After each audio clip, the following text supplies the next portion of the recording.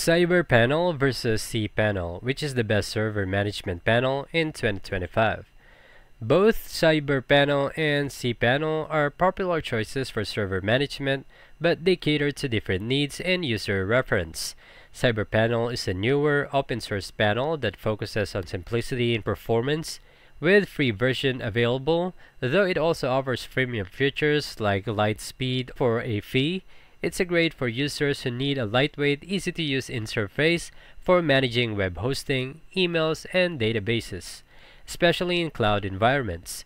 On the other hand, cPanel is more established, premium solution with advanced features, a wide range of integration, and excellent support, but it comes with subscription costs, typically ranging from 15 to $45 per month, depending on the license cPanel is ideal for those who need robust features and extensive customer support for commercial and large-scale hosting environments.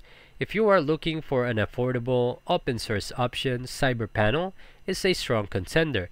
But for the premium features, a long-term reliability, cPanel remains the go-to choice. And that's it. Thank you guys for watching. I'll see you in the next one.